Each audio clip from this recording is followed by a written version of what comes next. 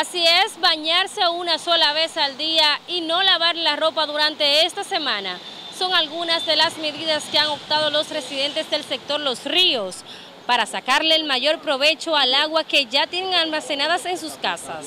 Tenía un tanque, entonces estoy en economía, así mismo tengo que estar. Echarme mi agüita de noche porque hay bastante calor, que en el día no me la tiro, porque ¿cómo la?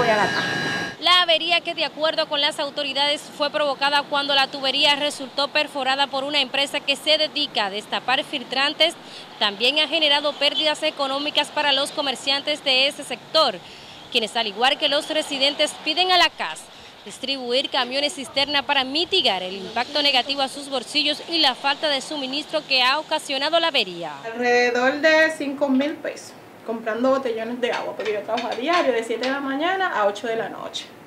Entonces, como te digo, tengo que estar comprando botellones de agua. Hay camiones de 1.500 pesos. Ellos deberían por lo menos dar un soporte a uno, por lo menos trayéndole camiones de agua a uno, que ni siquiera eso han hecho, ¿me entiendes? Entonces, aquí la verdad, estamos secos como la situación.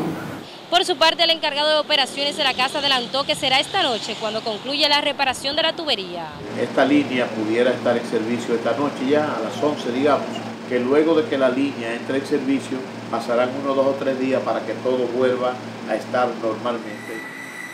De acuerdo con la institución, unas 400.000 personas residentes en distintos sectores del Distrito Nacional y Santo Domingo Este se han visto afectadas por la avería. Asimismo, la CAS informó que la regularización en el suministro del agua potable podría extenderse hasta el fin de semana. Es todo lo que tengo por el momento. Vuelvo con ustedes a los estudios.